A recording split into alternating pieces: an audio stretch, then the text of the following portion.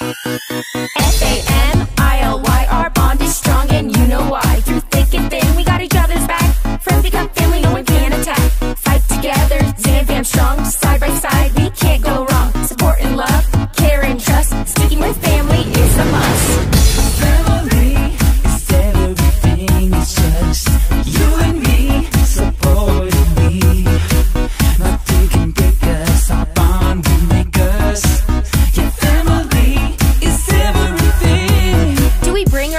trust. We're a family, so trust is a must. She helped us out, Put her neck on the line. and I have to admit, she's pretty good at spying. She's proven herself and faced her biggest fears. It kind of feels like we've known her for years. But if we let her in and seal the deal, she finally needs to do a face reveal. Are you guys ready? uh, yeah. We've been waiting for this.